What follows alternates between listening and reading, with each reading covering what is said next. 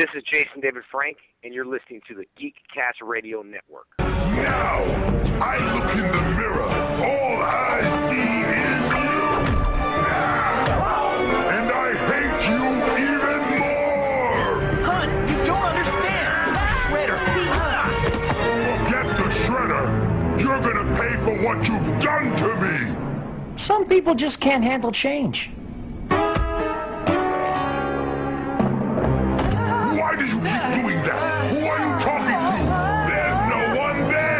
You are now on the inside of what I like to call the circle of trust. We are all connected in the great circle of life. You know something, Bert? I think you and I are going in circles. It feels like we're going in circles. The circle is now complete. When I left you, I was but the learner. Now I am the master. Because it's a circle. Yeah, we heard about the circle. Yes, we're Yeah. familiar with shapes. Hi, this is Chuck. This is Greg. And this is Dan, and we are Talking in Circles, brought to you by the Geekcast Radio Network, the podcast that's kid tested and mother approved. How are things out there for all you guys? Oh, not too bad. Not too bad. I had a kind of a lazy weekend. I was doing some channel surfing and I saw a little bit of a Star Wars marathon on Spike TV and Oh, they have Star Wars. I didn't know they ever played Star Wars. on yeah, Spike I think it's TV. the They first do time that all the they've time. all the I- damn time. yeah they do. That Um, and, uh, no, no, the, another uh, ABC Family does Harry Potter all the time. Yeah. Yeah. And then, well, this one too. Later that same night, actually, they were having a, a Rocky marathon in AMC, and uh, they do that all the time too. So that was pretty much my Sunday, just kind of watching some classics there. But Nice. And most I heard about the podcast and that you really loved Rocky, so they decided to play it on AMC. yeah, Greg, things going good with you? Uh, yeah, but I, I'm not. By the way, I am not kid tested. I am nowhere near any kind of parental approved. True, true, true. The podcast maybe, but I don't know. Me specifically, no. I, yeah, I didn't think about how bad that sounds now after I did it. Anyways, uh, my week, it's been interesting. There's been a stomach bug going across my house. Uh, my wife got it on Saturday, and then I later got it, and it kind of like threw me off for the week. I just had the weirdest week ever. Uh, the one day I was making enchiladas, you know, the classic Italian dish, and you know, get it all prepared. Italian. Exactly, got it all prepared, ready to put in the oven, preheat in the oven, and I was smelling something burning. I'm like, what's that burning? I thought, oh, okay, I have the chicken on too high because I'm on, I'm putting it on the stovetop. Like, oh no, it's still burning. And then I'm like, what is it? I opened up the stove and realized there was a pizza box in there for some reason, strange reason that I put in there. so that was literally like burnt on the bottom, and my entire uh, apartment smelled like burned pizza box for a good few days. So it smelled Ouch. delicious. Yeah, yeah, it was delicious. and then later in the week, ouch, I, that sucks. I was off of work. Actually, for one day, it gets to snow. The other day, because I was sick, and I came back, and one of those random situations where I was walking down the hall, and it's a really long hallway, and there's someone on the other side, and you know that awkwardness when it's a really long hallway and you're walking towards each other, and it's just like taking forever, and you don't know. Do you not look at the person? You know what? So that that's the awkwardness to begin with. And then I noticed the person that had like a sticker or something on their head. And I was like, I knew the person, so I was going to make a joke about it. So I was laughing inside. So I was kind of laughing at, at the sticker and about to say a joke. And but then I stopped myself, and then because I got close enough, and I realized it was Ash Wednesday, and it was actually like the ash from Ash Wednesday on their forehead. So I luckily stopped myself before I said a joke. But the bad thing was I was still laughing. So this person just thinks I'm the insensitive prick who just was laughing at them because they celebrated Ash Wednesday. And I'm like, no, I didn't. It was just like a, one of those awkward moments, and I didn't realize that until I, after I'd walked past them. I'm like, oh, now they think I'm a real person. So, um, Can I ask you guys a question? yes, It's it's supposed to be a cross that they're marking on the forehead, right? I don't know. I think so. Usually, I think, yeah. I think all the priests have freaking Hulk thumbs because it just looks like a giant blob in the middle of people's foreheads. at I think this- it. I think it's just like the ash. It, it spreads. I don't know. I don't know. The, I, I, I, I've like watching the news. They they show people getting it on. I'm like, I'm pretty sure it's supposed to be a cross on the. They're supposed to do a cross, but it always just looks like this humongous black blob in the middle of the forehead. Yeah, Yeah, plus yeah. Your, your thumb kind of flattens out too when you push it on there, I guess. I don't know. Yeah, But well, they could use the side of the thumb. I think that would make it a little bit more defined. I think they what we'll might have say- they Go might ahead. have been hulking out. I don't know. I think what we're what we've decided is they need some sort of like stamper or something like that to make it a little bit more efficient and go back. I think I just offended a lot of people and I apologize. It was my Well, they they did start in one church around here. They did a, a drive through. Um, yes, I swear they, uh, they- people didn't even shut off their cars. They stayed in their cars, and uh, the priest had the ashes there and just did the the mark as they were sitting in their cars. Supersize me, baby. I want a number four. That's a confession with a side of Ash Wednesday. Their whole face is just ash. the supersized option.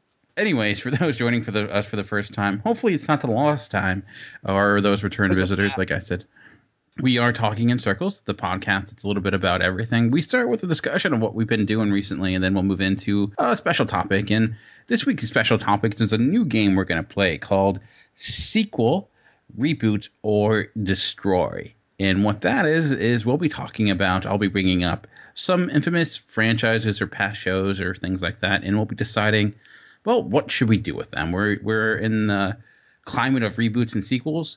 Are there actually good films out there or good TV shows that we should reboot or sequelize, or should we simply leave them be? We'll be discussing that in our second segment. But before we get there, we'll be talking about what we've been doing recently. And Chuck, why don't you kick us off? Well, we kind of have a little bit of a knowledge of you've been watching Rocky and Star Wars. Anything else? I, I did find something on YouTube actually. I was on a little bit of a Ninja Turtles kick after last week's episode of uh, Top 5 Cartoons. So I was kind of like rummaging around YouTube looking at some stuff. And um, I, I found this uh, this TV movie from 2009 called Turtles Forever. Have you guys ever seen this? No, I have not. Is is this the one with the girl turtle? No, it's not. Okay, okay. Then I haven't seen it. I don't think. This actually, I think you guys would like this based on our discussion of the Turtles last week. It's a really cool movie that kind of incorporates different versions of the Teenage Mutant Ninja Turtles, and it's all like wrapped up into one plot. It, it's about an hour and 20 minutes long. It's a good sized little movie. You have like the modern 2000s Turtles, and then you have your uh, original cartoon from like the late 80s, and you have them drawn and acting the same way in that kind of like that joking around really light mood and stuff. And then like later on in the movie you have the original comic book teenage mutant ninja turtles who actually appear in black and white and they're drawn the same way that they were in the original 1984 comic. And uh, of course you have your classic 90s like shredder and krang and bebop and rocksteady and all that. And you have uh, some newer some newer villains too, and the the Shredder from the newer version is kind of the main baddie of the movie. It's a really fun movie. There's a lot of comedy tossed in there to keep the mood really light. The funny thing was too that from the 1987 Turtles cartoon, the the turtles always kind of broke the fourth wall a lot, kind of like Deadpool does in the comic, and they kind of incorporate that into this movie. And the newer, the modern turtles are like you know, who are you talking to? Like they're always like looking, you know. it's this really funny like ongoing joke that they do, and it's funny because it kind of like this one bad guy's name is Hun. Kind of at the end, I think like Raphael says something to the camera, and like he looks over like at the camera. He's like, "Who are you talking to? There is no one there." and then they go back to fighting. It's just little funny stuff that they stick in there like that, but it's actually really uh, impressive how they tie all this into like one plot. I, I won't give too much away, but at, at one point they're kind of explaining this idea of there being multiple dimensions and therefore multiple versions of the turtles. They have this one part where there's like this little cloud that's kind of like a viewer screen or whatever, and they're looking through all the dimensions, and they're kind of showing some still pictures, and you see tons of different versions of the Ninja Turtles throughout the years, like all the different artist renditions and uh, different cartoon versions and stuff like that. And they're actually like still pictures. And if you look close, you see the turtles from the live action movie from the early 90s and i got a huge kick out of that because they just have those big goofy smiles on their face and it's something that i really remember from that movie and it's cool too that in the one main battle of the movie you can actually see if you look closely there's cartoon versions of Tokka and Rahzar the two monsters from uh, the second turtles movie Okay, yeah, I remember those guys. yeah, I thought that was a pretty cool little Easter egg that they tossed in there. You kind of have to like watch close, like you you'll miss it. But I paused it, and you could definitely see the resemblances. Like the one uh, was supposed to be a mutated snapping turtle, and the other one I think was a, a wolf or something like that. I think it was a wolf. Yeah. The funny thing at the end too, like they actually tied into the real world because if you watch like through the credits, they show Kevin Eastman and Peter Laird kind of drawing their comic panels Oh, and wow. you hear and you hear them talking like, "Oh man, I hope this comic really sells," you know, and yeah, I was thinking the same thing. Let's go get some pizza or something like that. and apparently, it's I mean they're credited on IMDb. It's their actual voices, so I mean they don't show their faces or anything. But just thought that was really cool. And there's some there's even some like quotes in there too when they show the turtles from the original comic book. They have them like kind of narrating, and there's actual quotes from the 1984 comic where you know one of the turtles is like, "I cut two of them on my way down." Donatello takes out a third with his staff, stuff like that. It's like the opening narration for the comic book, and they threw that into the movie. I thought that was a really cool touch. So how did you see this exactly? Or should I ask? Was this a a secret version? It was just just surfing around YouTube, and actually, I think I read in one of the comments, someone was like, "Oh, you know, they made this movie called Turtles Forever uh, back in 2009." And I'm like thinking to myself, you know, I never heard of that. So of course I googled it and I found it, and luckily the whole movie was on YouTube, so Oh, wow. I was able to check it out. Yeah, nice, nice. really fun movie. I think you guys would enjoy that. I will have to have to check that out. Have you been uh, up to anything else? I did get to see Son of God last night in the theater. It's about Jesus, right? yes. Uh, this, Okay, good. Of course, this is the movie of the life, the teachings, the death, and resurrection of Jesus Christ as told by the Gospel of John. This has Um, become a very religious episode today, unexpectedly about Ash Wednesday. It's yeah, it's in the spirit of uh, you know Ash Wednesday and the, the start of Lent. Uh, question: He didn't have any drive-through confessionals during that movie, did he? No, no, this was uh, Drive up on your donkey. this this was a bit more traditional. I appreciate that. yeah, I I remember you talking about that, and that's like a a continuation of that miniseries. Is that correct? For the one from History Channel. yeah, somewhat. It's actually very similar to the History Channel one. They did change some stuff, but it was actually Obama the devil again. no, they didn't put him in. Oh, Um, okay. I know there was that whole controversy when Yeah. that came out, which was kind of ridiculous in and of itself. But um, this was filmed at the same time because everything was set up, and they did change some stuff because the series on the History Channel covered a lot of stories from the Bible. This was primarily focused on Jesus, and it was kind of ambitious to cover like so much of his life in one movie because they they cover pretty much his whole adult life. It's kind of a tall task, but I actually think they pr- did a pretty great job on it. They covered some major points, the more well-known parts of the New Testament, resurrecting Lazarus, Lazarus, and uh, stopping the the stoning of the woman accused of adultery, and the famous quote there, like, "Let he who is without sin cast the first stone." They kind of changed the quote a little bit, but they kind of updated the dialogue to make it more understandable with today's language, kind of wasn't so much of that old English style of speaking. So, Wasn't like Passion of the Christ where it was all subtitled. uh, no, no, not at all. Also, he, he healed the paralyzed man, you know, walking on the water when they're on the Sea of Galilee, stuff like that. I think it was it was very historically accurate from what I remember reading and stuff like that. And as we know, the Bible is one big history book, which has been proven multiple times. But uh, I, I kind of found myself saying like some of the quotes like right with them and remembering a lot of stuff and kind of knowing what's you know what's about to happen and stuff like that. So that was pretty cool. Very very moving and powerful movie, especially at the crucifixion scene. I mean, I found myself getting very teary eyed. It's kind of hard not to though when when you're watching them do that to him. It's not as bloody and violent as the Passion of the Christ was. It's still pretty. It still is pretty, you know, intense. Yeah, it's it's, it's very intense just to kind of convey that message, but it's not quite to the extent of the Passions was.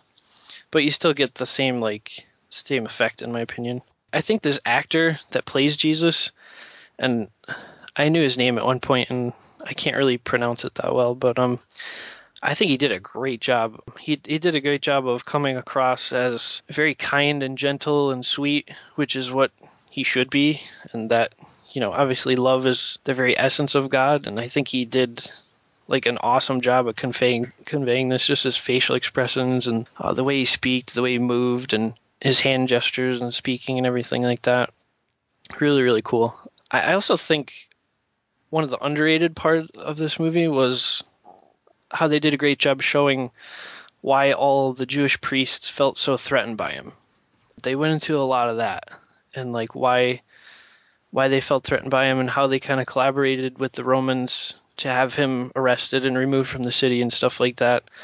I thought that was really interesting how they covered that a lot. Interesting, interesting. Yeah, I have. So, would you say it's better than the actual TV series? Is it? You think along the same lines? I think it's along the same lines. Like I said, very similar. They did change some things, but uh, I would say all in all, I enjoyed this more than Passion of the Christ, and part of that is because this covers like his whole life and focusing, of course, on his teachings and his adult life, whereas the Passion was uh, pretty much a retelling of the final 12 hours of his life. So you get kind of more more of the whole story in this one. But uh, this this actually got some pretty good box office numbers. It exceeded the expectations uh, set by the critics, who I think they were projecting around like 17 million or something for the weekend, and I think it pulled in about 26. Yeah, so it, the only thing the only thing that beat it was Liam Neeson. So yeah, not many people that have the ability to rank in bigger box office than Jesus, and of course it's Liam Neeson in a plane fighting. He's yeah, but uh, yeah, it did pretty well. Uh, we were talking about it in MWire Weekly. It was like number two uh, this past weekend. So, and I'm sure it will with with uh, Easter not that far away. It'll just continue to be a pretty pretty steady. I, I, I I'm pretty sure and certain that I'll probably make over 100 million or so. Oh yeah, and they said that's like the average Christian movie makes like a hundred million. They said they traditionally do pretty well, but um, one of the things that I wanted to talk about with this was uh, kind of the modern day miracles, so to speak, uh, during the filming of this movie. And this is actually pretty interesting. I had heard this from someone I worked with, and I went and looked it up and uh, found that it was true. I guess there's a scene in the movie where Jesus tells uh, one of the Jewish priests, uh, Nicodemus, he says, The Holy Spirit is like the wind. And after he spoke that line on the set, they said at that exact moment, this huge like gust of wind came through, and it lasted like 20 seconds. It was blowing stuff over, like tipping stuff over on the set. Eh, they said it sounded it felt like a, a 747 engine taking off like that just that wind gust like coming through it and they all kind of like stopped and like looked at each other like what just happened i thought that was pretty interesting and then the one the next one that happened i thought was even even crazier during the production of this they had hired a, a snake a snake wrangler because this was filmed in morocco and he kind of would keep the set free of reptiles and snakes and different things. And on average, he would find about one or two snakes a day. But the crazy thing is, on the day they were filming the crucifixion scene, uh, he found 48 venomous snakes crawling around mm-hmm. the foot of the cross. that is pretty, pretty crazy. So. I'm I'm Indiana Jones in this case. I hate snakes. That's what it kind of reminds you of. Just you know that pit where they're all crawling. I'm like, geez, like 48 snakes like around the base of the cross. I'm like that. that is crazy. Like that's got to mean something. On a, on a completely different note, but uh, staying with the whole snake angle, I was watching something online, and it was of a crocodile and like a python in, in Australia that were fighting against each other, and like a full size crocodile, and the python won and then ate the crocodile. I'm like, I am forever scared of snakes and never going back to Australia again. Yeah, seriously. But then I also saw a, a thing on an otter, and it was attacking a crocodile too, like a smaller one, but a, a, a regular sized crocodile. I don't know, alligator. I don't know, whatever. But uh, it was eating it and like and hunting it. But apparently, like otters are like the apex predator of their natural habitats, and even above that of like crocodiles. Which I'm like, that's kind of crazy. Those I love uh, otters. Yeah, and they're very very vicious and can kill crocodiles. So that's kind of crazy. But that just had me thinking of that. Anyways, Chuck, sorry to cut you off. Did you have anything else? I just wanted to add that uh, my girlfriend and I really enjoyed it. Uh, we thought it was very moving and uplifting. A lot of people actually found themselves kind of spiritually stirred by this movie and their faith strengthened and stuff after just seeing what Christ was willing to suffer through to redeem us and kind of pay our debt uh, with his life and stuff. And um, I would definitely recommend it. I think it's very, very well done for as much as they had to cover uh, in the movie. I think they did a great job of putting it together. The note I left on your truck was just as impactful, I bet. yeah, that's a funny story too. I, we came out of the movie theater and there's a, a note stuck to the handle of my truck, and it's from Greg, who was also at the movies seeing a different movie. that's pretty funny. On, uh, did you have anything else you were watching, Greg or Chuck? Um, no, that's that's about all I've been up to, except the Star Wars and Rocky marathons, but I'm not going to get into them at this point. so, Greg, we've heard that you're at the movie theater. So, what were you at the theater seeing? I was at the theater seeing uh, Monument Men. Okay, so nearly as religious as Son of God. Well, kind of. they they had the whole thing with the uh, oh, what was it? The um. Oh, the um.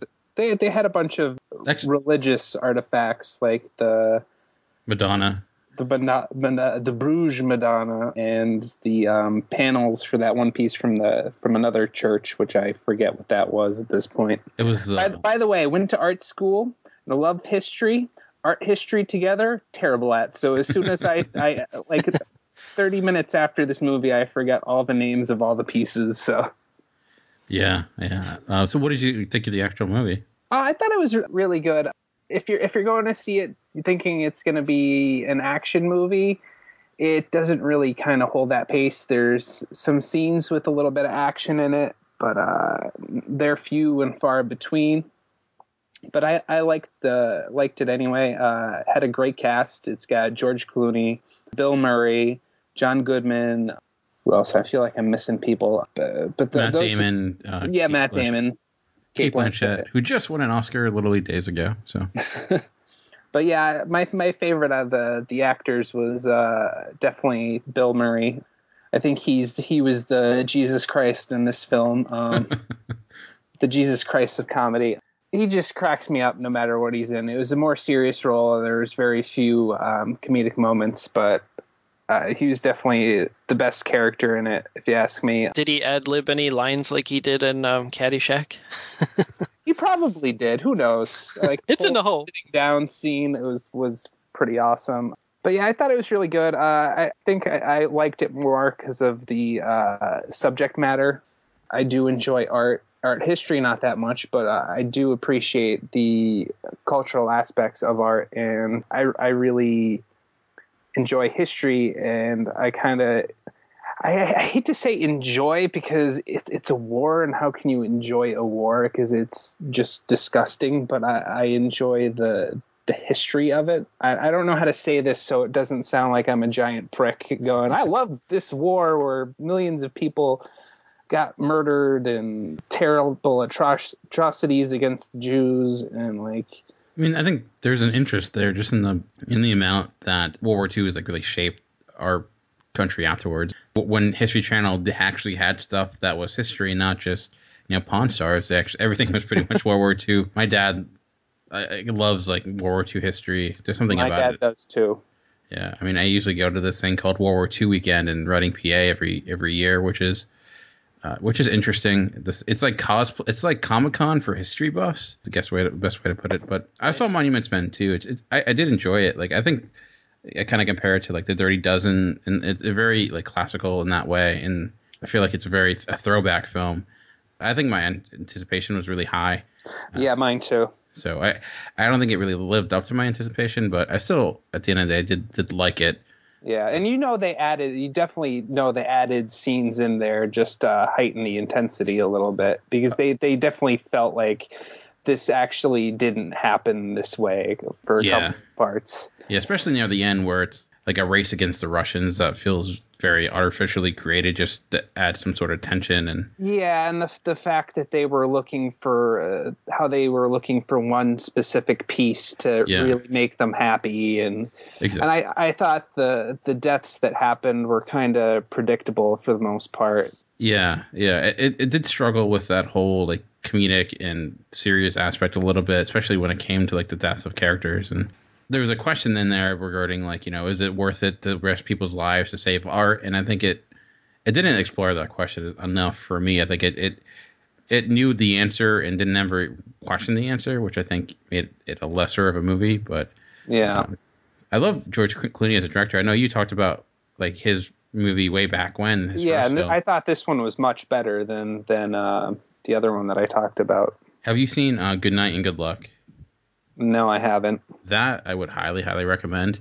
It's black and white. I think it's actually on Netflix. I could be wrong, but that's my favorite film that he's made. Uh, I really love that movie. It's about Edward R. Murrow and his debates with Joe McCarthy during that era of like the Red Scare and stuff like that. But it's Oh, that that part of history kind of drives me nuts with uh, McCarthy. It, Yeah, it, it's which is that makes that a really good movie to watch. It's very critical of that time period, but uh, can't think of the actor's name that plays Edward R. Murrow, but he's like spot on in that movie. It's it's really I I enjoyed it. Also, it's, it's a gorgeous looking movie. It's, it's all black and white and looks pretty pretty fantastic. I think you'll just enjoy it on that aspect.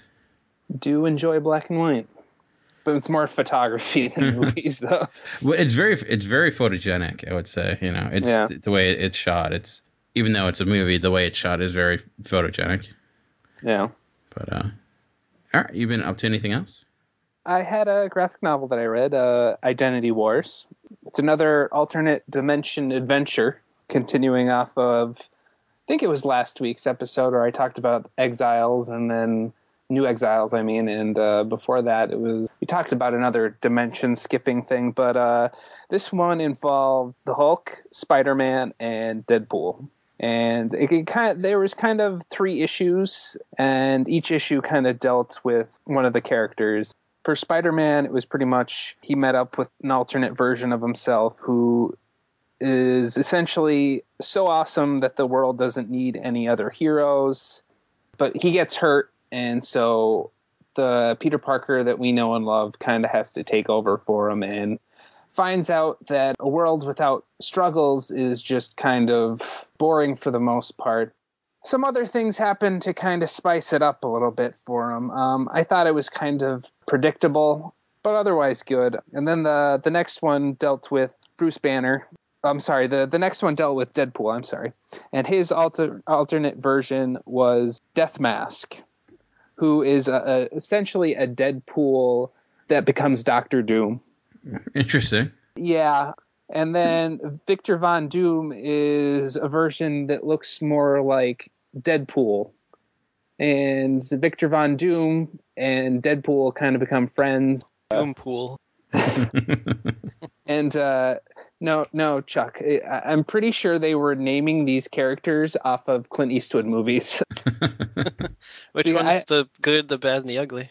Uh, it was no, it was Deadpool, and I think I think Death Mask was a Clint Eastwood movie, but then Victor Von Doom's alias, which I forget at this point, was another like Million Dollar Another- Baby. no, no, I forget the name. it, it was Dirty older- Harry. It, it was it was a '70s movie, it, and it was part of the Dirty Harry franchise, I believe. But uh, but but anyway, Death Mask kills Victor Von Doom, and Deadpool is very pissed off because Victor Von Doom and Deadpool were becoming fast friends, and gets pissed off. And uh, I thought this one was a little bit more interesting than the the Spider-Man comic, but then the last one dealt with Bruce Banner, and Bruce Banner's alternate version became uh, the Sorcerer Supreme, who banished his Hulk to hell, making him the Infernal Hulk. Interesting. And yeah, and for being stuck down in hell for as long as he was, he kind of became orange instead of green, and he has giant ass horns. And since uh, Kind of that, sounds like the ultimate Green Goblin a little bit. and then so since that enchantment was going on, it essentially made it so Bruce Banner couldn't turn into Hulk because his Hulk got sent to hell as soon as they transferred over into this dimension because of the enchantment. But yeah, they they eventually uh, send the Infernal Hulk back, and it gets wrapped up nicely in a bow. It wasn't the greatest thing in the world, but uh, it was one of those ones that I picked up at BAM for really cheap. So I actually almost picked that up today too. I was uh, at Books a Million looking through. I didn't pick that up. I ended up picking up Winter Soldier graphic novel, but I it was probably a better choice, yeah. to be Yeah. quite honest. So I know I, I'm a little hesitant to pick up pick up something when I when it's in wrapping. I can't look at it. I think art's a huge deal. So Yeah, I but I like it when they're in the plastic because they're nice and uh, nobody's touched it, and it's nice and crisp. And that's true. That's true.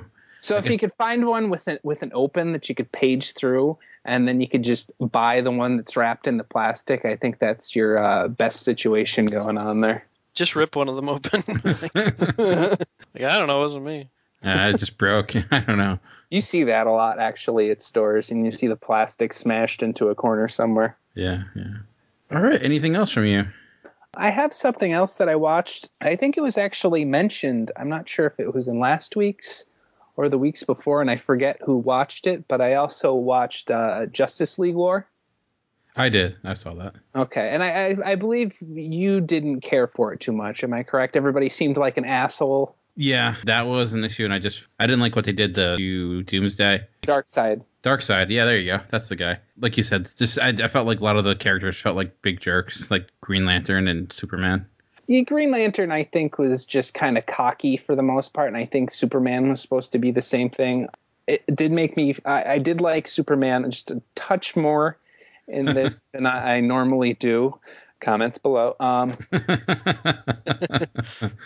uh, so I did like him a little bit better.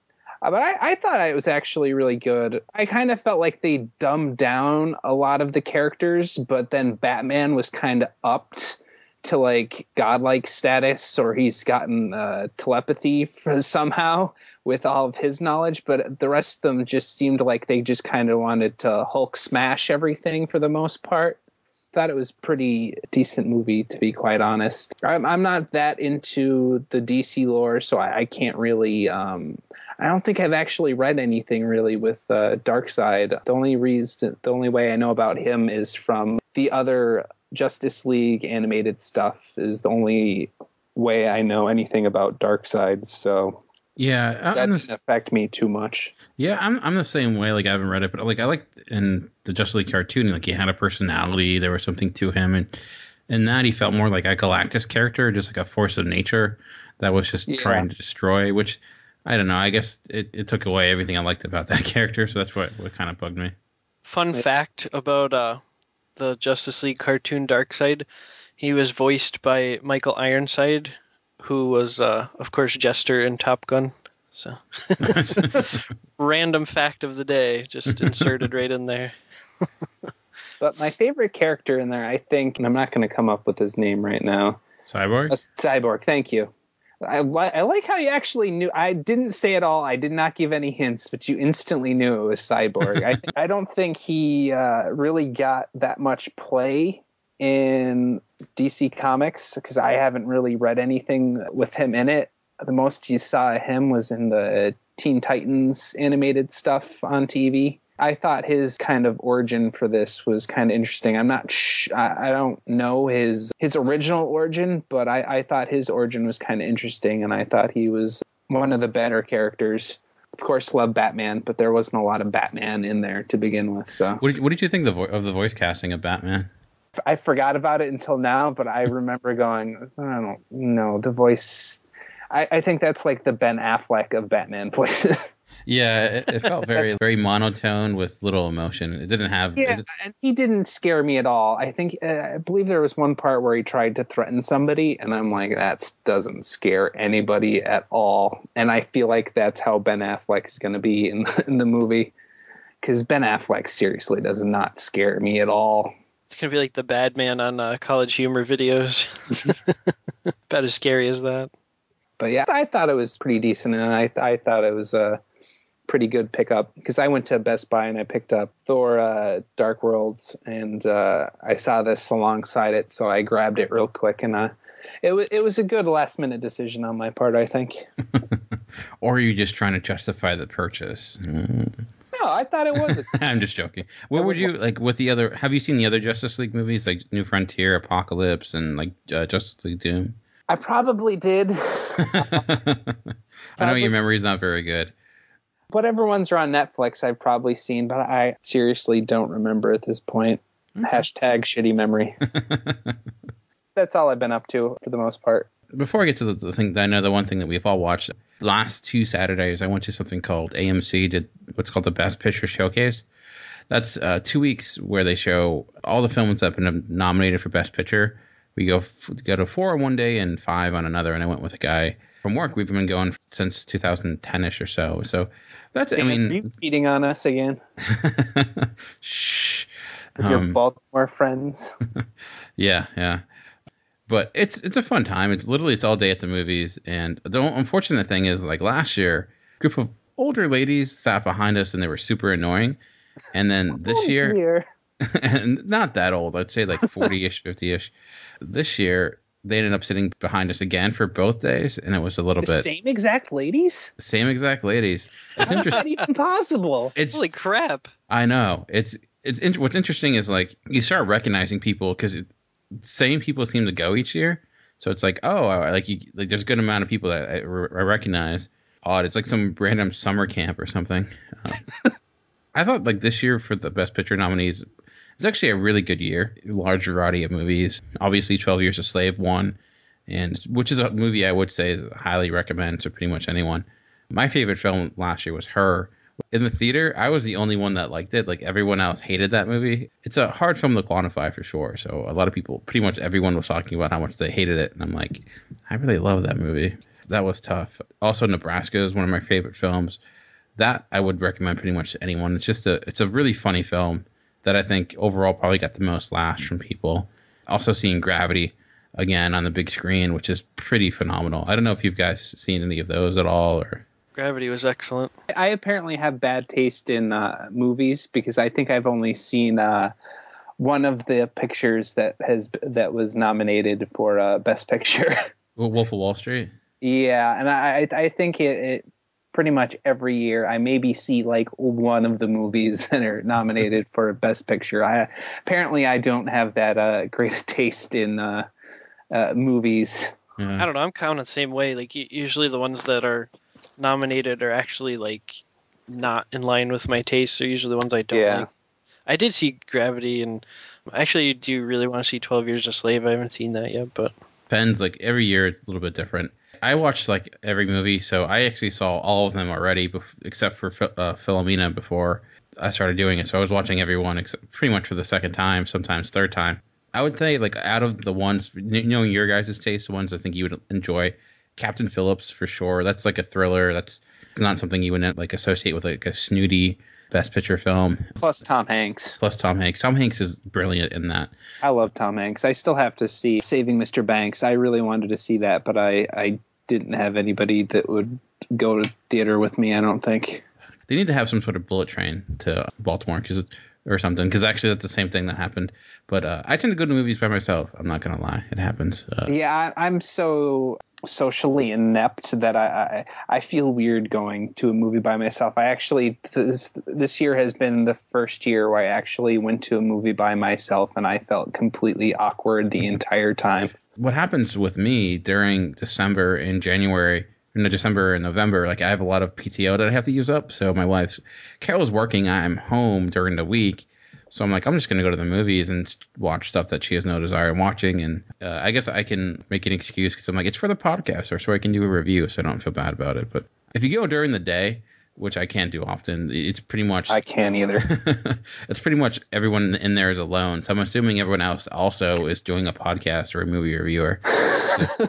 Well, I learned last night going to Monuments Men with my mom that uh, that Wednesday night is actually a pretty decent night to go to the movies because there was only like eight other people there. Yeah, yeah. And and one of those was Chuck. he was in a different theater though. There was a decent amount in ours. I was kind of surprised. Yeah. But yeah, I was thinking what other ones you guys would maybe like. American Hustle is pretty pretty good. I would just see that for Jennifer Lawrence, to be quite honest. And Amy Adams, I'm I'm a fan of Amy Adams, so Going more off of the looks type of. that's I mean that's what I'm talking about. Like, uh, well, after that movie, m- the one comment my wife had was uh, Carol had was basically, why doesn't Amy Adams own a bra? Because she doesn't wear one for the entire movie. Uh, she can get away with it, Carol. That's why. Evil glare through through the, the laptop.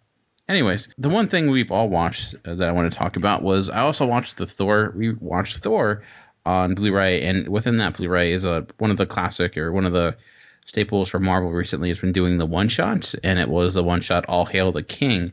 And for those that have not seen Iron Man three yet, a little bit of a spoiler here, so I would say skip ahead maybe five ten minutes or so.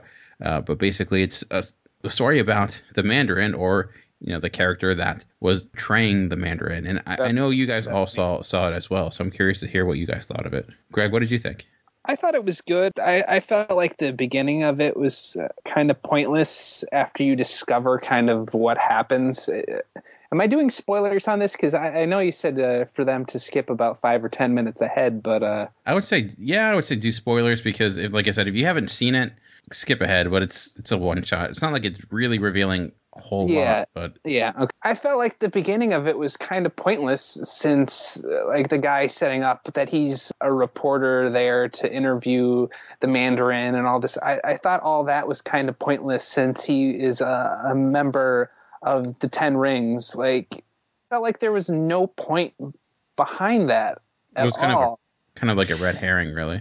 Yeah, uh, but the only the only thing that I, I really really enjoyed about it was the appearance of Sam Rockwell. I thought those parts were hilarious. They didn't really lead to anything, but I, I thought it was funny, and I did enjoy the the fact that it set up that there is an actual Mandarin out there somewhere. So I, I thought that was really great. Definitely. The, the first half of it I wasn't too keen on after learning uh, what the situation was, but I, I enjoyed the what the end of it is going to lead up to, and I enjoyed Sam Rockwell's performance with pants on.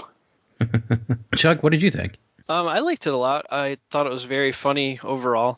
I, I agree with Greg. I, I did like the the Justin Hammer appearance there at the end in the credits, and my favorite line was when he said uh, it was something to the effect of, uh, "You know what's so great about this guy anyway? He looks like Bin Laden and Benny Hill had a kid." I thought that was hilarious because it's kind of like I don't know, it's kind of kind of fitting. But um, Sam Rockwell is just the way he just puts things out. It, everything he could he could say anything funny for the most part. Yeah. Like Greg said, it's really cool that they said there's like a real Mandarin out there, and I, I kind of started hearing rumblings and maybe started speculating this myself. But you know, could he possibly uh, appear on the Shield Agents of Shield TV show? Maybe because they're kind of hinting at this guy that's behind the works of everything. Not sure if it would be him, but that could be cool if they go that route. There was a ton of Easter eggs in this as far as like comic references and stuff. I'm not sure if you guys like found these or from stepping on anyone's toes here, but um, I know like the the name that they used for the interviewer, the Ten Rings guy, Jackson Norris. That's actually a Marvel character. He, he was a guy that had become a a Shield agent. He was also the character of Nighthawk for a while. He had his mind transferred into the body of the real Nighthawk or whatever it was, but I thought that was kind of interesting that they chose that name. And uh, the guy in the prison that asks uh, Trevor Slattery to to do the Mandarin voice. If you remember that guy, so, you know, Yeah. me me and the boys were wondering if he could do the voice. His name was In Fletcher. His name was uh, Fletcher Heggs, and he was actually the character of the Knight in uh, Marvel Comics. He was one of Obadiah Stane's chessmen.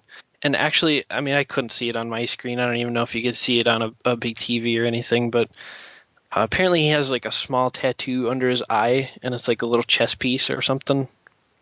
Oh, wow, I did not notice that at all.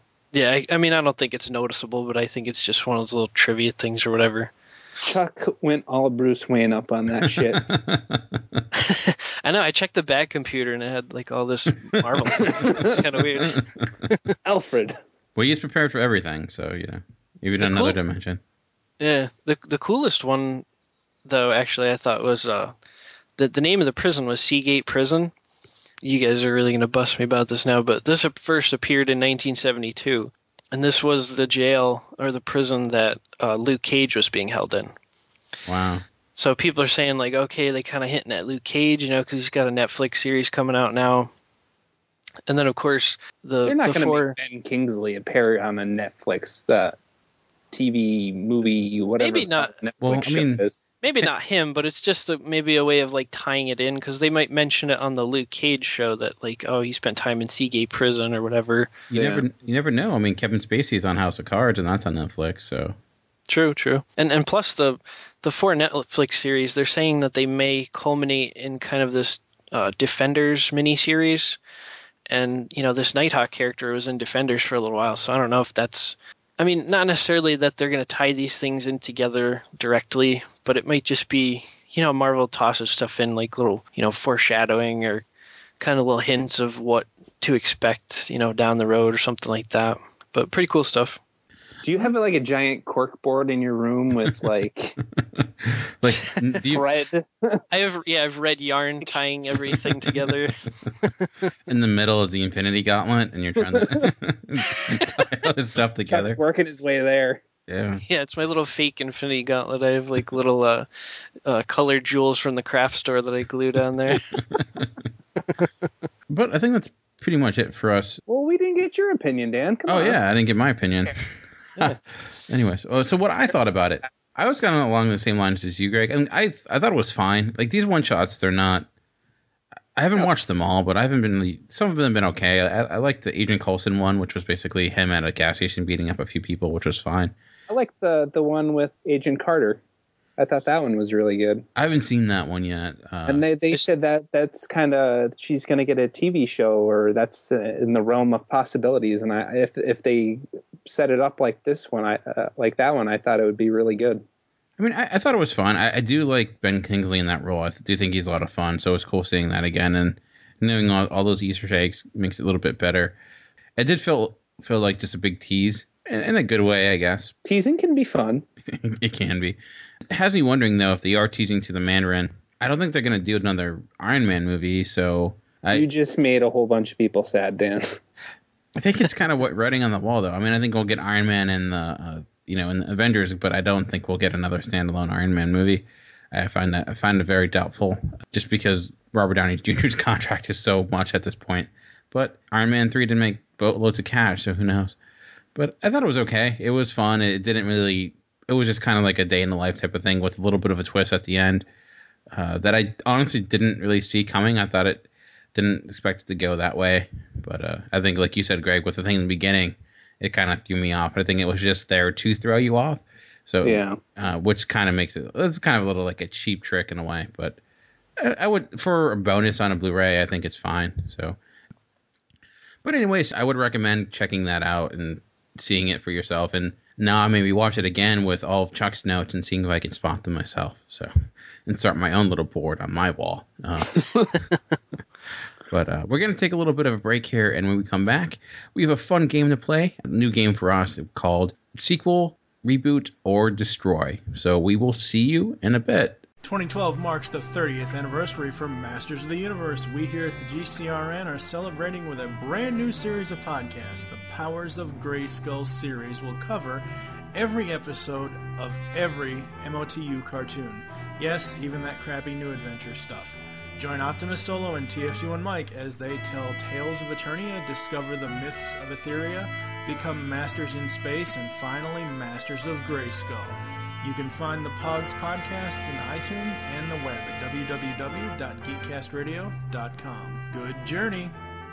All right, and welcome back. And today, like I mentioned, we have a special game, a new game.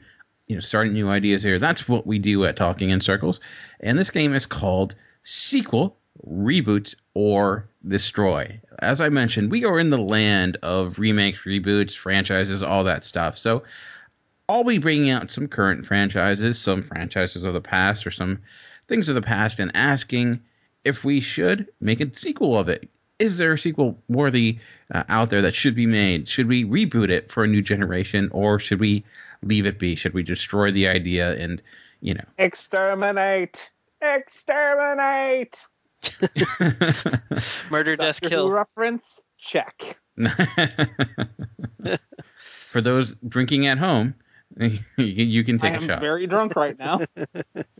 That's basically the game, and I'm hopefully hopefully we'll have a little bit of fun with this. And I'm going to start with one, probably the most recent one on here, one that's been around for a long time since 1988, but it's still going. But I'm curious to hear what you guys have to say. It is about the infamous Die Hard. Should we make a sequel, another sequel? Should we reboot it? another another sequel. or should we destroy it and finally say enough is enough with Die Hard? What do you guys think? Exterminate! Exterminate! I I think it's kind of run its course at this this point. To be quite honest, I think we should just kind of leave what we have and, and kind of. I I didn't see the last one, but Don't. so I'm not sure if we're going to leave it at a high point. But I, I'd say leave it at a high point. We've already got some great stuff that we can replay, replay, replay, replay. I'd say wait till at least my generation is dead before they try and reboot it again. Chuck, what do you think? I would also have to say destroy. I I think it's like Greg said, kind of hit the nail on the head. There, it's kind of run his course. I mean, how many has there been? Four, I think. Five. I think Oh, there's been five. Okay. Uh, well, I ignored the last one, like you said. So You should. It is awful. it is the worst thing ever. It is like I'm trying to not be offensive here, but yeah, it is like You're going to be more offensive during this than you were during that religious talk. true, true. I had a joke there, but I'm going to save it and not be a horrible person. So, I, just the last one literally was the worst movie of last year. I'll say that much. Like the, it was such a disappointment and so pointless and stupid. I really enjoyed one and two. You know, I think everybody did. Those are classics, but I mean, I kind of fell off after that, and I definitely haven't seen like the recent one or anything like that. So I would say Die Hard with a Vengeance is very good. And then after that, and I actually even like Live It, Live Free and Die Hard, but uh, I, I I am in agreement with you guys. Destroy it. We don't we don't need another one. We don't need someone else taking up that mantle. It's done. Let's let's move on to other things. Uh, yes, Bruce Willis. Yes, you need to stop. Just stop it. Stop it now. Stop it. Stop it. so I, I would say keep an open mind because I know you you might think there's no way you can do a sequel with some of these, but you never know. And uh, this is kind of in the vein of of the the spinoff of Girl Meets World, which is that sequel kind of of Boy Meets World that they're doing. So I kind of thought of well, what else could you do that with? What else could we? What other classic TV show from the 90s could we take and do a new spin on it with characters that are older? And the first show that came to mind, my mind, was Saved by the Bell. So, should we reboot this franchise with new cast and new characters, sequelize it so Screech can finally get another job, or destroy it and leave it be? I guess since we started with Greg last time, Chuck, what what are your thoughts? This when you were like bringing this whole thing in, that was the first thing that came to my mind too. Saved by the Bell. I, would I would vote uh, reboot on this. I think um, I wouldn't destroy it because I think it was a lot of fun back in the day, and I think if it was done right, it could be a lot of fun again. I wouldn't do a sequel because I think a lot of those actors are really kind of I don't I don't want to say washed up, but they're kind of like come and gone. They've Old moved on to different different parts in their career. Some of them. yeah, I, I don't think bringing them back would uh, make it too appealing. But I think if they rebooted it with some f- funny younger actors, and you know, use did some today today's comedy, like not necessarily make it too dirty, but just like I don't know, something fresh, something fun. I think it, I think it could be really cool and really fun. Greg, what about you? What about you? What are your thoughts? I think I'm gonna get a ton of shit for this, but uh, I never really watched them, so we need a fourth option of I don't give a shit. um, that would be the destroy option. I think. I think that en- encompasses all that. does it? If if we don't care about something, we just destroy it. We're straight off Galactus on this. That's what we do in America. you're American, Greg. That's what you're supposed to do. If you, I don't care about it, then you blow it up. That's what. It is a murder, death, kill from uh, Demolition Man. I still haven't figured out the seashells yet, so um, it's about it's so about CC scooping. It's it's See, scooping Saved it. by the Bell is my three uh, three seashells situation. So Um, shitty. yeah, it's kind of shit. Uh, actually, I've I've seen like an episode or two. Uh, I I seriously just don't care about it. I never invested that much of my thought process or my time into it. So I I I, really don't care. I don't even know how to answer you, Dan. I'm sorry. that's all right. Well, you did. You said you don't care, so that's exactly it. yeah, but there was three options to begin with. It's how this game is played. I'm just fracturing the game. we'll go with E, or sorry, D. None of the above. Okay, cool. All right. Well, this is one. I don't know if you're going to care about it anymore, but I'm pretty sure you saw it because I think it's impossible not to see one of these just by walking. You, uh, they were everywhere for a very long time and still seemingly not going away. And that is the franchise of Pirates of the Caribbean, the Johnny Depp cla- classic, I guess. I don't know. We have four films already and possibly a fifth on the way. So, do you think it is time to maybe reboot this franchise? Do we want that sequel that's on the way, or should we destroy it and move on to other things? Uh, Greg, have you also not watched Pirates of the Caribbean? I didn't see the last one. Either have I, so don't worry. Is Johnny Depp going to be in this one? He is supposed to be because, you know, it's what he does. Is is Orlando Bloom supposed to be in this one? He is not, I do not believe. I think it's supposed to be, uh, like, again, like a new cast. I, I don't know. Is is Keira Knightley supposed to be in this one? That I don't know. I don't believe so either. Uh, I like the stories. I liked the amusement park ride. So I, I'd say reboot it. To be uh, reboot it. Okay. Keira Knightley was at least there, something good to look at. When Johnny Depp first started it, we weren't tired of him yet, so that was awesome, and his take on it was interesting. And Orlando Bloom is always fun. So since we're missing two out of those three, and the third option is kind of getting stale at this point, I say find um, some other people because I, I still think pirates are fun, and we don't get enough pirate stuff this day and age. I think there's some channel is is going off on a pirate TV show, and I forget what what uh, Stars.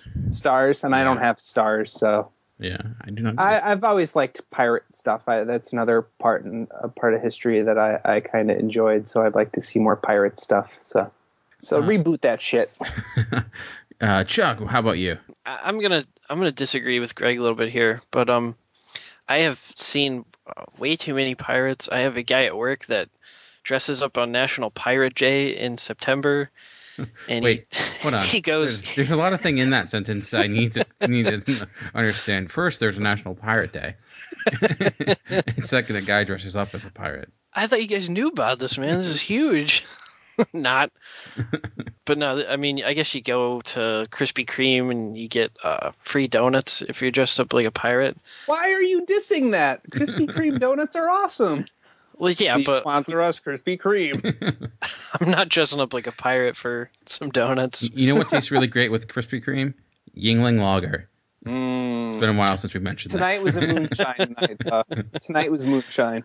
And Nice you can plug. do that while watching Netflix because that's another thing we always mention. So bringing it all together. And See, Arrow was so really good last night. so. for spon- uh, for uh, sponsorship. Yeah. Arrow is on Netflix, so there you go. I uh, conversely, I've seen uh, too many pirates for for my taste. I say destroy this because um, I saw the first two. I actually liked those quite a bit, but I didn't see the other ones, and I'm just kind of sick of it at this point. and I think it's way too soon to reboot it. Since I think the it was way too soon to reboot Spider-Man, and I think this is even less time. Is so it sad that I thought Spider Man is the same time as you did? Yeah. well, that's kind of the go-to example. Like it was only ten years after they rebooted it. This has got to be around there, if not I less. felt But like it was way shorter amount of time that they rebooted it in. It was ten years since the first movie, but only like four years since like Spider-Man three to right. Amazing Spider-Man. So Or they should reboot it. uh, I was waiting for a pirate pun. Thank you, Greg. I was looking no for problem. one. I appreciate it. Uh, I'm here to provide. you know what? I would say give it one more shot with another sequel because Johnny Depp needs another boat, and then we can call it a day and we can stop it. Or maybe he could just do it just to keep him from doing any more like Lone Ranger movies or something. True, true. I'd rather get another. Doing the Doctor Strange movie. Yeah, there you go. It's it's we're, we're really doing it for our own good. Johnny Depp, do that. All right. So going from some Greg that you had no interest in into one I'm pretty sure you had a good amount of interest in based upon last podcast and classic cartoon and we talked about Teenage Mutant Ninja Turtles and how that kind of got a reboot treatment and we've had sequels of cartoons here and there. Well, a classic cartoon in that of DuckTales. I was gonna have to. I was waiting for that, so I had to do the the, the pause. Should At least we? I didn't mess it up with uh, uh, TaleSpin this time. Um, should we sequelize this? Should we get the voice actors from the last, uh, if they're still alive from the last show, and, and continue it? Do a reboot, a, a new design of Ducktales, maybe for this new age, or should we just keep Ducktales in our memories and watch the old ones? Chuck, what do you think? I don't know. I, I guess maybe it's because I'm older now, and I don't know. if I'm being a curmudgeon here, but uh, I, I say we just kind of leave out. it in leave it in the memory banks for now. I mean, I think it could be cool if they reboot another one. I personally wouldn't be interested in in watching it really. I guess I'd just kind of leave it, you know, in the in the childhood memory bank and just enjoy it that way. Greg, what do you think? I'm going to be out of character on this one and be. I, I know people don't really know me for this on the the podcast, but I'm a really big pessimist, so I'm going to go out of character and be really optimistic. And uh, I think they should give it a, a reboot, give uh, this upcoming generation a chance to see and uh, a more modern take on uh, Ducktales. I, I don't know how they would do that since uh, I believe they killed off Scrooge McDuck. I'm pretty sure. I, I I don't know how I got to it, but I'm pretty sure I was like plinking through on uh, Wikipedia and I found that uh, Scrooge McDuck is actually dead. Did he choke on a gold coin or something. Did, yes, he was gargling with it. He was he was diving into it and uh, gargling the gold coins as he was swimming through them. His or, neck you know, is- he, or, or he broke his neck when he dove into the gold. because, you know, the laws of physics say that a big pile of gold doesn't react like a liquid when you dive into it. that or his nephews killed him for the inheritance. And then, but then we can do a sequel called That's DuckTales a CSI. totally awesome book, by the way, Dan. I, I would totally read that. the That murder, sounds like the more mystery. modern take. Definitely. yeah, murder mystery DuckTales. That'd be pretty sweet. I would totally watch that. That would be Put it on the ID channel. yeah. that's a um that's a robot chicken sketch waiting to happen. But yeah, I, I'd reboot it. If you're not interested in seeing, you don't have to watch it. But I, I think it would be um, something great for the the kids out there. And I will say, I would love to see a sequel of it. I would love to, if they can get the voice actors from the past, and maybe do, even if it's just a movie. They recently just did the an HD remaster of the classic game, and they got a lot of the voice actors for that back again. And I, to me, continue that and do a sequel. Maybe if it's just a movie or something like that. I just you can introduce the Ducktales, like you said, Greg, to an entire new generation, and bring back that that that classic line of the Disney TV shows, and just to hear that theme song again. I mean, it's worth it, right, Greg? Thank you. That's going to be my ringtone now every time Greg calls. All right, let's bring this on to another topic. And Chuck, I don't think you're going to be super interested in this one, Chuck. So if you don't have a response, that's fine. But I know, Greg, you're we talked about it. You're a big fan of this franchise, and I know you're not a big fan of the person who's currently taking the reins of this franchise, and that is uh, Daniel Craig as James Bond. So, would you? I mean, James Bond is probably the the franchise of franchises. Would you like to see another sequel with Daniel Craig?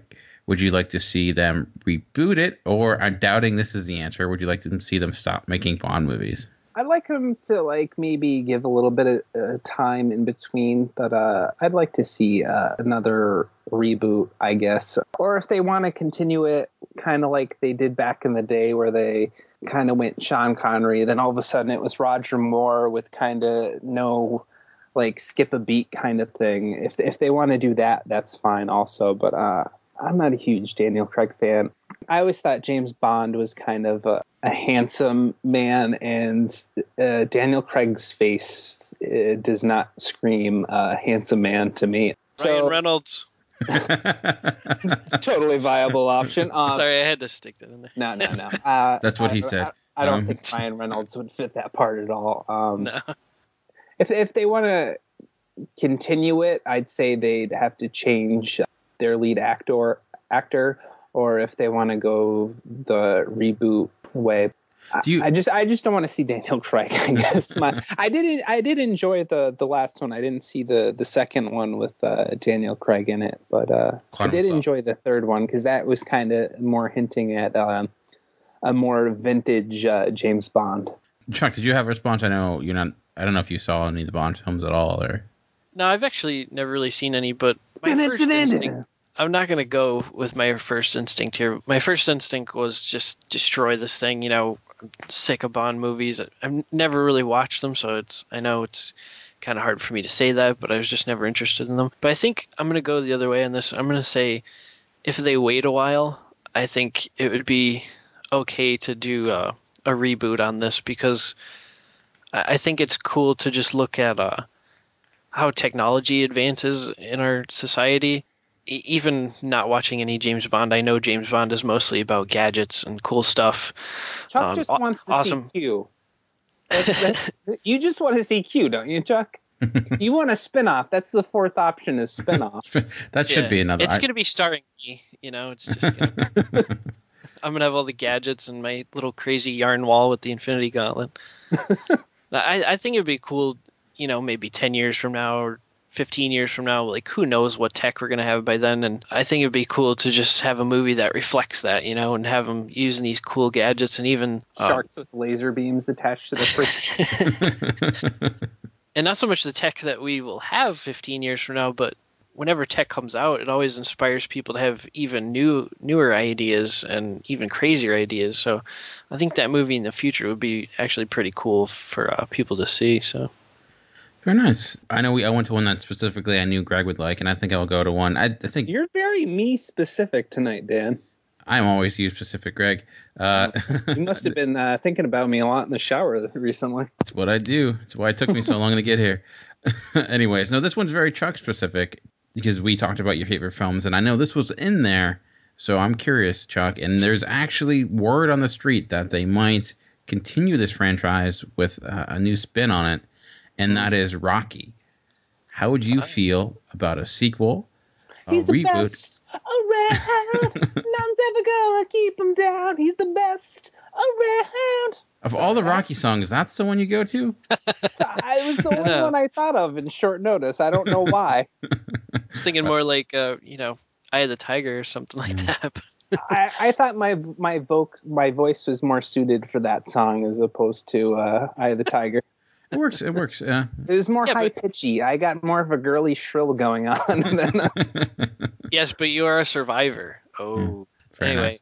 Um, But there, but I had like, to get a song in there somewhere. So the uh, Rocky, uh, like I said, sequelize it, make another Rocky movie, make a reboot or destroy it. And there is uh, not necessarily a, a Rocky reboot, but there's word on the street that they are possibly doing like an Apollo movie where they'll be following like Apollo's son, who will be becoming like a like a Rocky type figure. Which I know is not necessarily a reboot, more of a spinoff, but uh, that that was kind of my thought process. So I'm curious to hear what you have to say about that, Chuck, since I know you love that franchise so much. Yeah, I don't know. I think it's too soon to kind of do a sequel or a reboot or anything because the Rocky Balboa movie, you know, just came out a few years ago. Let's be honest, there's been six of them, and I think I would be happy if they just ended it where it's at, you know, like especially with anything focused on actual like Rocky Balboa because Stallone's just let's face it out of his prime at this point. Unless you you know it ain't this, so, Chuck. Say it ain't so. unless there's like an underground fighting ring in a retirement home and you know and he somehow gets involved in that but i do like the idea you're talking about like a spin-off with a different character that i think would really cool but as far as anything actually based on balboa's career or life or anything i think we should just kind of leave that where it's at kind of destroy that but the spin-off idea is pretty cool though i would i would definitely be intrigued by that Uh, Greg, what do you think? I'm going to make this short and sweet. I think I could uh, wrap it up with four words. I agree with Chuck. Very Boom. nice. Nice. That works. That works. Uh, Making the podcast shorter for you, listeners. and for me to edit. Yes. Uh, moving on to another franchise, not necessarily franchise, but I guess you would say franchise. This franchise was a huge part of my childhood as a kid. Haven't watched it in a very long time, and there was actually eight movies in this franchise. Eight movies, maybe even nine, and even a Saturday morning cartoon show.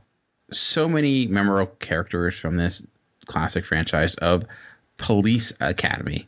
You had Michael Winslow doing the sound effects. You had McNulty and all that great stuff. And have you guys watched at all Police Academy going up, or am I the only crazy person? Hell yes. no i've seen it yeah that's that's pretty funny stuff so should we maybe make a sequel? You know, Steven Guttenberg's not doing anything these days. I'm sure he could. He's sure he'd doing be, Dancing with the Stars, Dan. Come on. it's Um, not christmas time he's not making any christmas movies yeah. or should we reboot it with entire new cast, or should we just leave it be and not do anything? We started with Chuck last time, Greg. So why do we start with you? What do you think? if we could do we if we have a character that can do awesome noises i think it's time for a reboot yeah because it's been quite a few years since we we've actually seen any of those types of movies and i i think you could get like a couple of characters to kind of come back i think bobcat would be awesome to see in there um You could even direct it. So yeah he could he uh that one movie uh what was it made in america or something God bless America. Oh, God bless America. Yeah, I thought that one was really awesome. But uh, yeah, if they if they have like some of the older characters come back for like little uh, cameo spots, or uh, kind of have like Steve Guttenberg back as like the uh, the chief of police, that that'd be pretty cool. I think. Chuck, what do you think? I agree with Greg. no, I uh I definitely think a reboot would be cool if like Greg said, especially if they got a guy that could do sound effects. Uh maybe get some of today's funny people on there too. Like I know Louis C.K. I know he's not really sound effects, but maybe some of like Frank Caliendo. he could do a lot of impressions and stuff. Um but I don't know John if that would Madden's work. well. arresting me. I would pay money to see that. Let's face it. Um, I paid money to see a skit of John Madden playing a cop. That would be. he just goes to Brett Favre's Oh, house. you're arrested. wow! Mean, boom! Where'd that gun come from?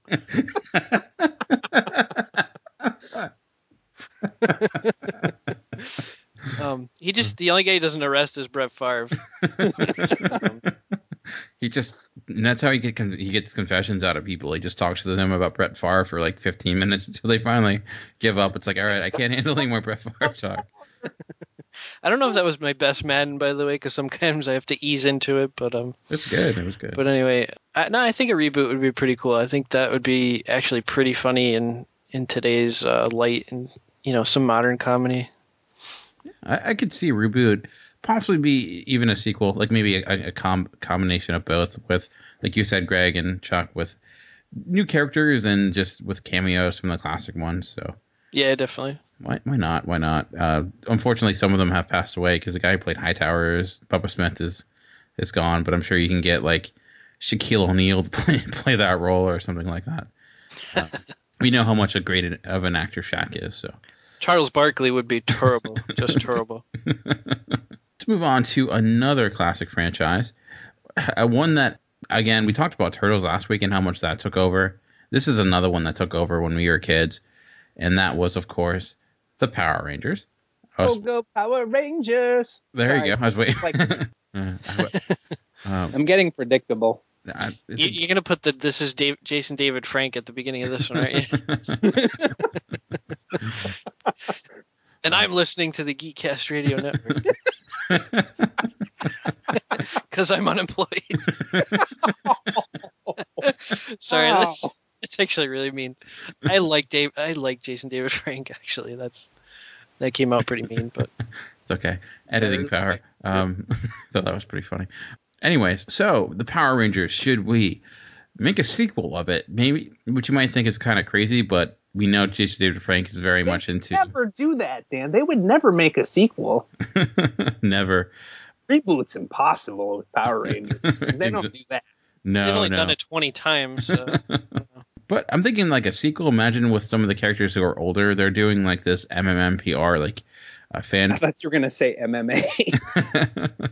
what well, Jason some of them. some of them are doing MMA, uh, but like where they're like older and like more, it's more like adult version of the Power Rangers. So we could maybe do a sequel like that where you So have, the, the, the Power Rangers are going to be more an adult version. Yeah. I, well, it's not, it's not an official. Well, version. with the Pink Ranger, I I would like to see a more adult version with the Pink Ranger. To be quite honest, Isn't Kimberly on some TV show now, like a cop show or something? no, she was just on Cops. So,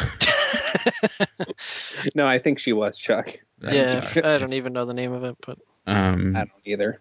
but So it must be an awesome show. Anyways, we're getting off the rails here. So, would you want to see a sequel, a reboot, or should we just finally destroy Power Rangers after all these years? Uh, Greg, what do you think? I'd like to see some of the, the, the older cast come back. I, I'd like to see like Kimberly and, and Jason and yeah, the green, white, red, blue, the original ones from uh, back in the day come back and kind of reprise their role. and Alpha Zordon. Impressions are spot on tonight, Chuck. Coming out of Yeah. the shell here tonight. so I, I'd I'd like them to see come uh, like to see him come back. I'm not sure what uh, option that kind of falls into, but Yeah, I, would I'd be like to see it come back. So, So, that would be sequel. That would be sequel, Greg. That goes sequel. So, Chuck, do you agree with Greg? Yeah, I think ultimately, I mean, part of me wants to just say like, you know, friggin' let Lord Zedd just win and destroy that whole universe, but I think it would be kind of cool to have some of the the original Power Rangers come back, and I think with like some actual good modern day animation and uh, a little bit of Hollywood magic, kind of make it look less corny. But I, I think it would be pretty cool. Come on, I like the episode with the pig that ate everything. oh my gosh, some of those like it's like friggin' mirror image of uh, the Godzilla movies, just like you know falling over into a plastic building and stuff. yeah, they did it. They destroyed a lot of cities in that show. It's like they were I know, very- and then the next episode, it's like magically rebuilt. yeah, they're very good at rebuilding. I guess we just Billions and billions of dollars in debt. Did you, did you notice that they always fought the battles in this big open space just outside of town? It's like, oh, you just grew up really big. Wait, come on, let's go over here and fight. Like, let's step outside. I, I, I think that the Power Rangers actually took place in Detroit. Oh. they never bothered to fix it. but yeah, Bulk and Skull and uh, all that stuff. Remember Ernie from the Juice Bar? I think Ernie's dead at this point.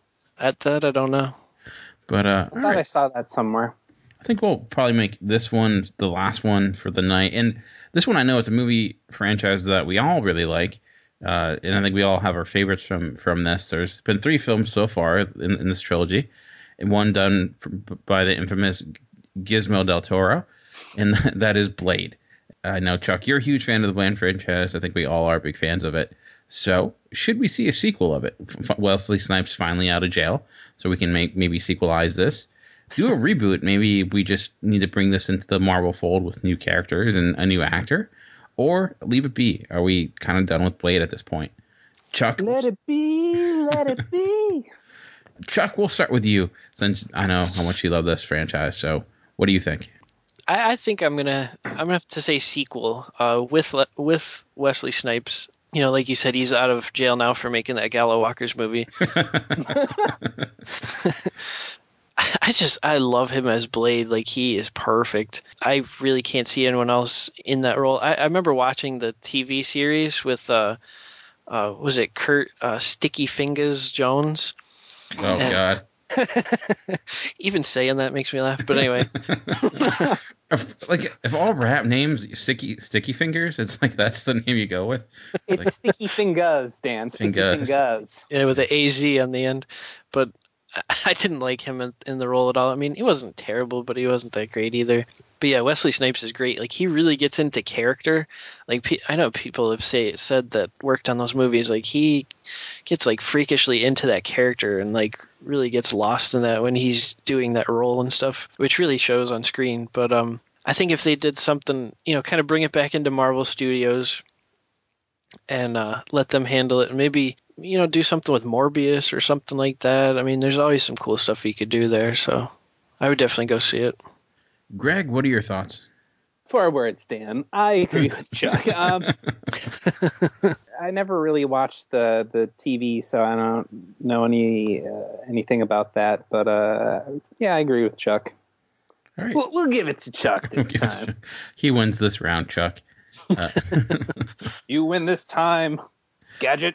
So that was the first round or the first example of sequel, reboot, or destroy. If there are franchises you'd like us to talk about, definitely let us know. There are millions of ways to get in contact with us, and we'll go over that before the show ends. But we'd like to end each show with a special letter. And this week, actually, Chuck is doing his very first letter. And Chuck, what do you uh, tell them what it's about? By the way, I finally kind of got off my lazy butt and did one of these. I know we're on our eighth episode, and finally, Chuck. Finally, people are probably like, you know, where's Chuck's letter? You know, everybody else is doing one. people were clamoring for it. I uh, I gave in to peer pressure a little bit to say the right one. this is to ESPN, which I frequently watch, especially every morning when I'm eating breakfast and stuff. And na na na I did that bad. I'm sorry. I'll just cut that out. there you go. Better. Better, Greg. Maybe you are the Michael Winslow we've all been looking for. no, I'm not. but yeah, I I do watch it quite a bit, and I'm a pretty big sports fan, like I mentioned on the first episode or whatever. But um, so yeah, I guess uh, we'll get into this letter here. It's kind of a negative letter, a couple of complaints, but uh, here goes. Dear ESPN, I am writing to address some recent issues I have noticed with your extensive coverage of the sports world. Before I get into the complaints that I have, I would like to mention that I do frequently watch your network, and I am generally pleased with the various programming you provide to hardcore sports fans. I particularly enjoy your NFL coverage and your This is SportsCenter commercials. However, recent events in the sports universe have garnered some extra attention from your network. And by extra, I mean around the clock, non freaking stop coverage of mind numbingly extraneous topics. Some examples of these events include primarily the Richie Incognito and Jonathan Martin debacle, Michael Sam being the first openly gay football player, and LeBron James' broken nose. Don't get me wrong, these are all news headlines, but in my humble opinion, the news is to be given and then you move on to the next story. Your network doesn't appear to acknowledge that fine line between reporting relevant news and being that creepy guy at Walmart that tells you way too much information about his bowel movement schedule. oh, you know Jimmy too.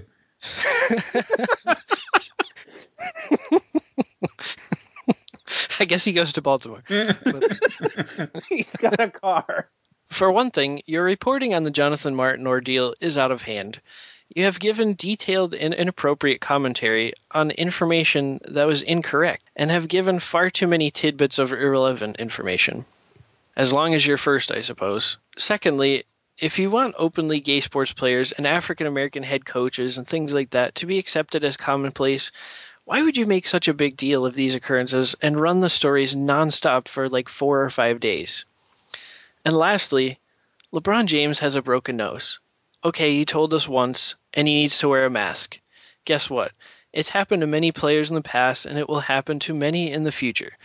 We don't need an update on LeBron's life every time he rips a South Florida fart. And we especially don't need ridiculous segments about his scoring statistics when wearing a mask versus not wearing a mask. He's Batman. That's true, actually, they did do that. I haven't been watching ESPN either. He averages like three more points per game without the mask. Good to know. I think that would improve his statistics. but it is going way too far. So that's it. Hopefully, those examples got my point across. When reporting news in the sports world, just tell us what we need to know and get on with it. I'm sure there are plenty of heartwarming, feel good stories out there that are being overlooked because LeBron just got a paper cut from his $700 billion check. Best of luck in your future sports reporting. Oh, and cut down on the NFL analysts, will you? You have about 40 of them, and you add a new one every week to talk about Peyton Manning's favorite sandwiches. Sincerely, Chuck. Very nice, very nice, and very true. I cannot agree more. It's so hard to take that network seriously anymore. And if you'd like to uh, comment on our episode, if you want to write a letter as well, because we've had some people in the past write a letter to us, you can send us an email. You can email us at geekcastradio, feedback at geekcastradio.com. Just include in the subject line talking in circles, or you can email us at talkingincircles at live.com. We're on Facebook if you search Talking in Circles GCRN. Also on Twitter in Talking in Circles at Talking in Circles, and that's T L A N K, the letter N, and then in circles. It had to be adjusted because of the craziness of Twitter. You can also comment on the Geekcast Radio post at geekcastradio.com. We love getting those comments, that feedback. It's it's really awesome to see. And if you have time, leave us a review on iTunes because that's huge. It definitely gets our podcast out there. Let us know, you know, what you guys like and what you know. Five stars is always appreciated. But uh, anything from you guys before we bring this episode to its conclusion? That's about all I got to ramble on about. So, Greg, anything else from you before we bring this episode to a close? Nope, I'm good. We'd like to thank you all for joining us for this week. But for now, This has been Chuck. This has been Greg, or John Madden. Boom! and this has been Dan, and we've been talking in circles. We will see you next week. Is that Muppet Babies or the Muppet Show? Uh, no, I, I actually forget the Muppet Babies theme song. Is that Muppet Babies? Boo boo boo doo. I mean, you know what they need is like a Brett Favre Muppet, you know, just back there throwing a football around. You know what I mean? They're just so cute. He's got a massive beard. We have dueling mountain, like dueling uh, Maddens right now.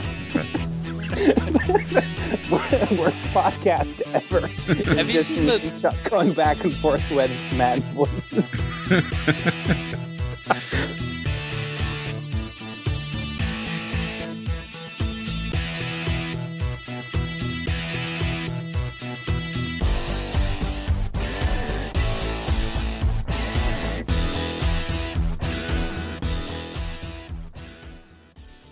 Excuse me, I'm burping.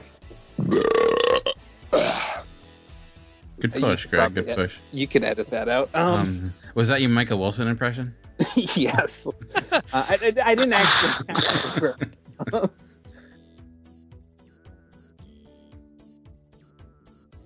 But yeah, so that's the first round of. Uh, I'm sorry, I forgot the name of the game we just played. Must have been a good one. Oh man, hold on. Uh, wow, it's when one of go those. Go back and- through the co- recording. Exactly. Everybody stop recording. Shit. what did we record? That that world's Bruce Banner um, sent the. that was pretty funny. Thanks. I'm losing my mind right now. I'm gonna keep that in because it's hilarious.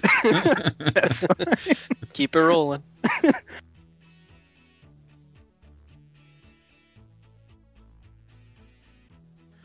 Yeah, um, I, I meant in the fact that you had nothing else to like. Uh, was a callback to like a. I don't know. It was a bad joke that didn't work. Okay. I'm oblivious. All right. No, I just I was too uh, uh, Anyways, I'll cut that out because I fucked it up. Um, all right. After credit scene, check.